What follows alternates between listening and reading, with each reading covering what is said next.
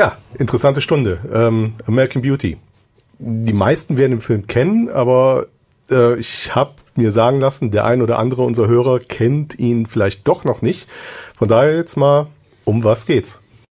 Wenn man es in zwei Worten zusammenfassen müsste, dann würde man wohl am besten sagen Midlife Crisis. Ein bisschen weiter ausgeholt, Lester Burnham, Hauptdarsteller, gespielt von Kevin Spacey, ähm, lebt ein Leben, in dem er nicht glücklich ist, hat einen Job, der ihn nicht ausfüllt, hat eine Frau und eine Tochter, die ihn nicht wirklich ernst nehmen und er als Loser sehen. Und so alles in allem kommt er nicht wirklich voran. Das ändert sich schlagartig, als er sich in die beste Freundin von seiner Tochter verknallt. Verliebt ist, glaube ich, hier auch nicht das richtige Wort.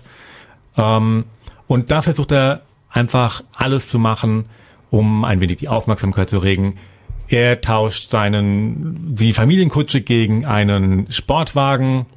Er kündigt seinen Job und wie er selbst sagt, sucht sich einen Job mit der geringstmöglichen Verantwortung und landet dann in einem Fastfood-Restaurant. Und am Ende nimmt das alles seinen Lauf, wie es eben in einem solchen Fall seinen Lauf nehmen muss. Und am Ende ist niemand glücklich. Wie der Film ganz genau ausgeht, wollen wir an der Stelle, an äh, der Stelle natürlich nicht verraten. Denn nur, sonst hat nur so viel, Lester sagt direkt im ersten Satz des Films, ähm, dass er in einem Jahr sterben wird, aber das zu dem Zeitpunkt natürlich noch nicht weiß, wie er das, stirbt, genau, das warum wie, er stirbt, ja.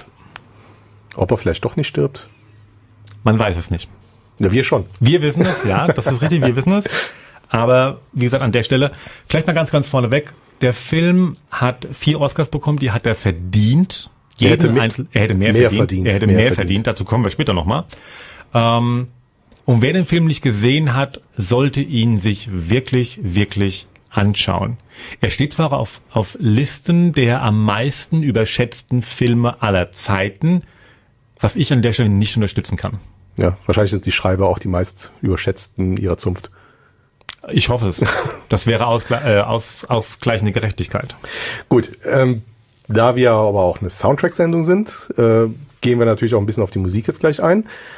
Ähm, wir hören uns ein paar Songs an, die in American Beauty zu hören sind, steigen dazu mit All Right Now von Free ein. Dieser Song ist zu hören, nachdem Caroline, Lesters Frau, äh, eine Affäre hat, diese auffliegt und sie schreiend im Auto sitzt.